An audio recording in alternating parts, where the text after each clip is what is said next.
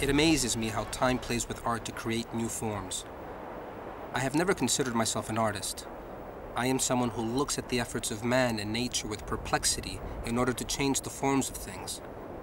Centuries ago, this adobe and stone skeleton was most likely a church that later would become a mosque. Then man most likely abandoned the mosque to its fate so that it alone would decide to embody this kind of formless nothing. But it is now that it does not seem to have any purpose when its presence is essential. There is something beautiful, perversely beautiful, in the destruction of things built by man, especially when this is a slow destruction, a destruction that is just a change in shape, a gradual recreation, with wind and water as man's fellow conspirators in the task of reinventing the landscape.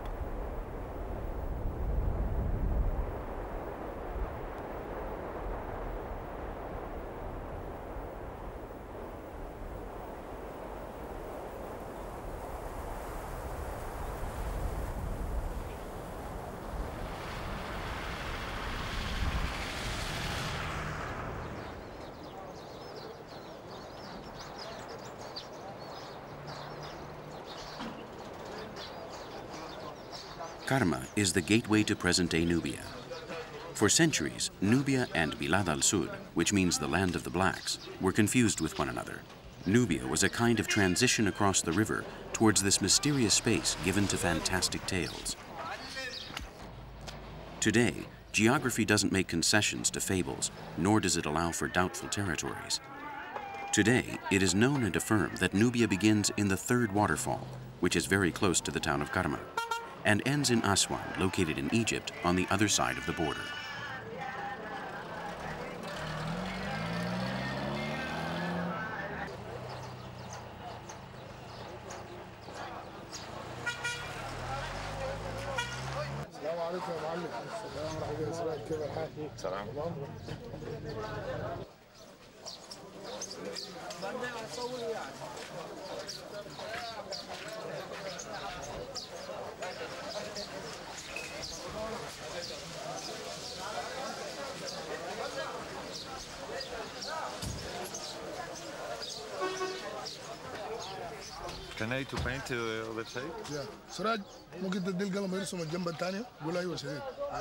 In Kerma, as well as in the rest of Nubia, being an artist is nothing extraordinary.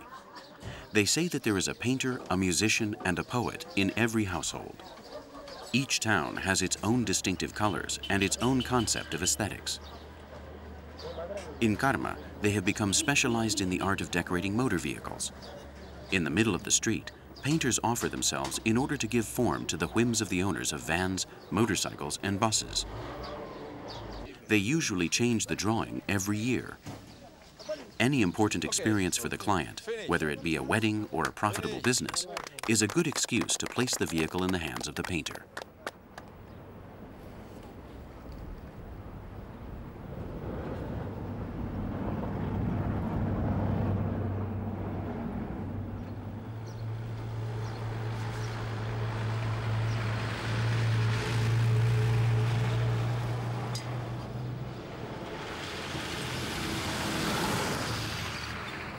Nubian architecture is probably the heir to what popular Egyptian architecture was more than 3,000 years ago.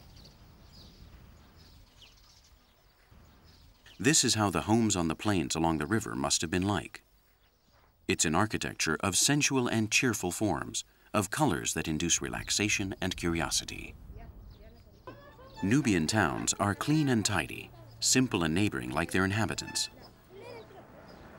The Nubian people are known for being friendly and hospitable, hard workers, and especially attached to the river.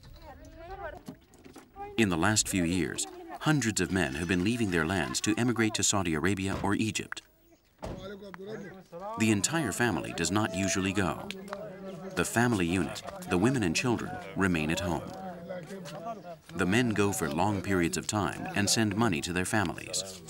They only return on occasion for celebrations. The absence of the men has made Nubia a territory dominated by women. They are the ones who keep the household and culture afloat. Most of the men who are still in the towns are either elderly or adolescent. The old men live with their memories of better times. the youths only think about escaping. This emptiness is not new. In Sahel, the men have always been absent, either at war or on a caravan, dreaming that there is a solution to their contradictions far away in the distance.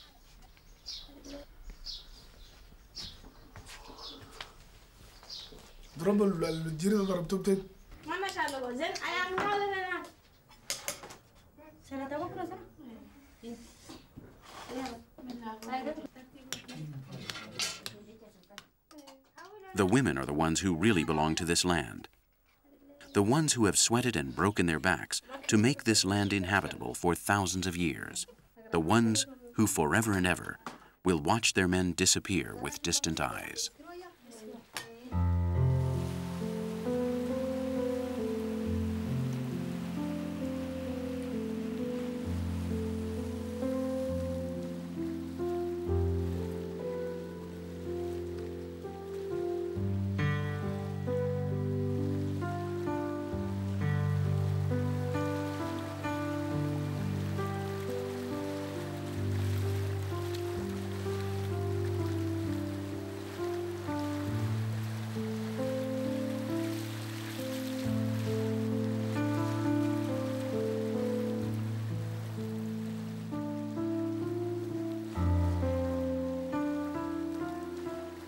Once read that there is still the same amount of water on the Earth as when the atmosphere was created, the same atmosphere we breathe today. Trapped in the polar glaciers, floating adrift in the clouds, resting in the oceans, or running down the streams and rivers. I have the feeling that the same water has passed through here hundreds of times with the same attitude as someone who knows the path that leads home.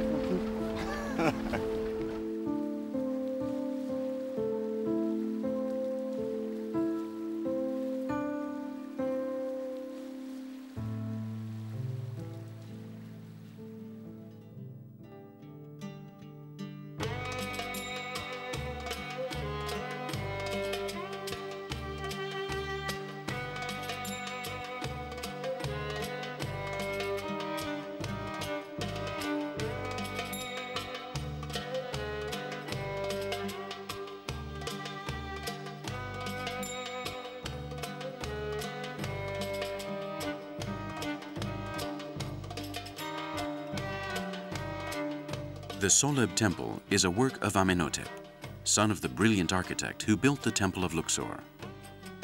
It was built to commemorate the jubilee of the pharaoh Amenophis III. It represents one of the most beautiful periods of Egyptian art. It is dedicated to the god Ammon, but the image of the pharaoh is also worshipped inside. Many details suggest the advent of the solar theology that would be imposed on the Nile Valley with the successor of Amenophis, Akhenaton, the god of the sun. The temple was consecrated by the pharaoh himself, accompanied by the court and his family. Soleb is a splendid affirmation of the cosmic power of the pharaoh, of his desire to put order in the chaos of the universe by worshiping the sun. Art is nothing more than this, a way of organizing the chaos, or rather, the illusion of this momentary ephemeral order, an illusion that calms the perverse mind of the artist. For a few minutes, a few seconds, on the surface of a limited space, man thinks he understands the world. But replacing the works of the gods is a big mistake.